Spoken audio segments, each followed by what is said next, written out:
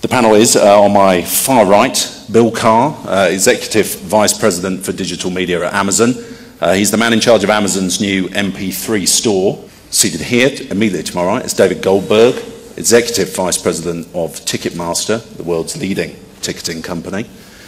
Uh, to my left, Paul Hoffert, founder and Senior Vice President of Business Development with Noank Media, which is a, a new company with a very interesting business model. Uh, to his left is uh, Denis Olivennes, uh, Chairman and CEO of France's number one retailer, Fnac. And uh, to his left, we have Greg Scholl, President and CEO of digital distributor The Orchard. Paul Hoffert, you, uh, you're from Noank. Tell us a bit about your business model. Noank is a spin-off of work that I did at uh, Harvard University at the Berkman Center for Internet and Society, along with uh, Professor Terry Fisher, who's the chair of our company. And um, the business model is pretty simple. It has two parts. One part is getting the money, and the second part is paying the money. Things That's that you pretty probably radical stuff. Very radical. And uh, and the getting the money part is it's wholesale, so we get the money from ISPs. The second part is that it's a blanket license. So we give the ISP and they give all of their subscribers a license to our entire catalog. And the third part, it's a subscription model with 100% penetration and no opt-in. The price is very low to each subscriber because you get tens of millions, hundreds of millions of, uh, of subscribers. And uh, once you get the money, uh, it's really necessary to pay folks like yourself, to pay the content owners. And to do that in a way that we think is fair, we had to develop technology that would count consumption, and which did not exist before we developed it. And so we don't just count downloads as many other folks do. Our counting technology counts actual consumption, how many seconds a person listens to a piece of music or views something, whether they watch the ads, whether they listen to music up till the bridge and then stop listening, uh, whether they look at uh, pages in a PDF document of uh, album covers and bios and all of that kind of stuff. We count how many times you copy it to a CD or a DVD. If you copy it to an iPod, we count that, and when the iPod redocks, we get the count of consumption on the iPod.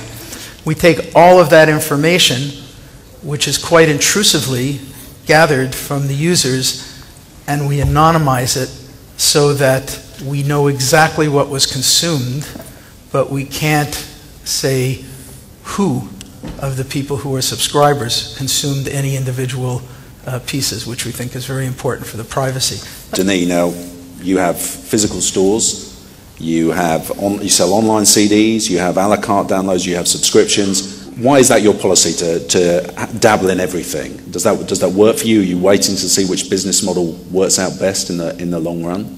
Well, uh, Fnac, as you said, is, uh, was first uh, a retail mortar, traditional, uh, a traditional retailer on mortar.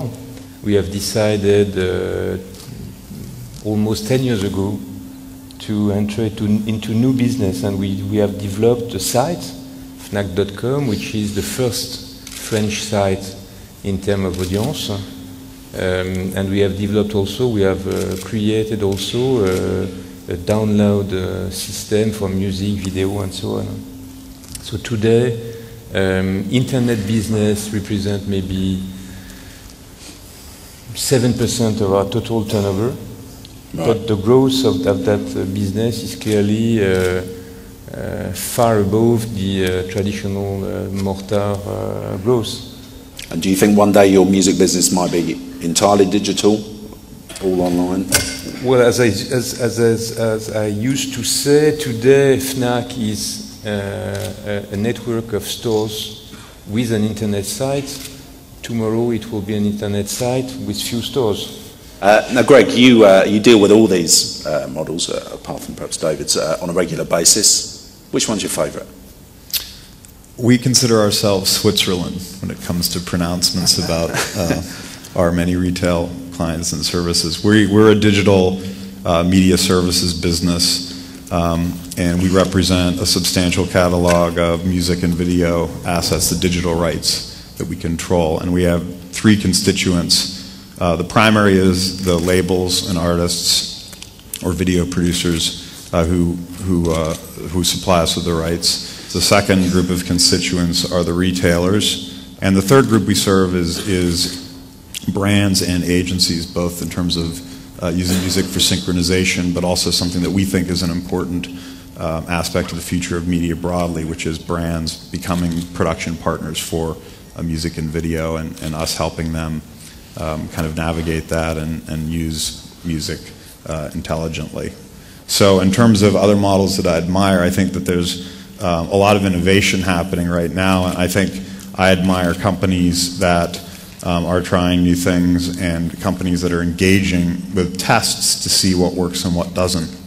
And often what we think about is um, you know, doing short-term deals to understand two things. One is uh, working with a, a, service or a model, what value is created, and then is that value equitably shared um, across all the people that are participating in it? And if the answer is yes to both, then it's something that we embrace, and if not, it's something that we, we uh, don't renew and pass on but I do think it's an incredibly dynamic time, and, and uh, um, you know, it's not something that I think is predictable, but just uh, experiment and let the market decide. We're big believers in the power of the consumer to decide what models they want, and then all we have to do is is um, react to that and service them. Could that model of paying what you like could that work commercially? Bill, could you uh, could you ever see Amazon doing something like that with an artist, allowing people to name their price? we've always been, um, we've spent uh, years literally uh, investing heavily in how we think about using our website to learn from customers and and we're very simple-minded, frankly, about sort of how we invent. We just invent on behalf of customers through either what they just literally directly tell us.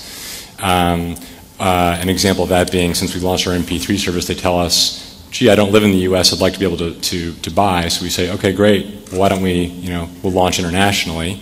Or uh, intuiting from their behavior uh, new things. But uh, uh, to come back to your question specifically, yeah, we, we actually have, um, have technology called the honor system. We haven't done this before, but we'd be happy to do this with any label or artist that wants to, to say, great, let's put your content up on the site and we can let customers choose from a fixed price or they can, they can um, you know, tip or contribute whatever they think the content is worth. We'd be happy to engage in a test like that um, because we could learn from it, we could share that learning, and uh, hopefully find a way to um, you know, introduce uh, more and more music to more customers. David, uh, in the live arena, I mean, people are, are buying tickets and then selling them on eBay or whatever for whatever price they, they can get. Is, is the Radiohead model, could that work in, in, in live ticketing? I think we've seen uh, examples of a lot of different ways of, of uh, bundling, as, as, the title of the panel goes, uh, bundling recorded music with live music. And in some ways, that recorded music gets paid for on top of the live music, on top of the live ticket, and in some ways, it's included in with the ticket price. I think um, the key to the Radiohead model, you know, people often ask, you know, do you think that's the future? I said the, the real genius behind it is figuring out what's right for a particular artist at a particular time in their career and what's going on around them. That's, that's the smart move. Does that mean that what they did works for other artists?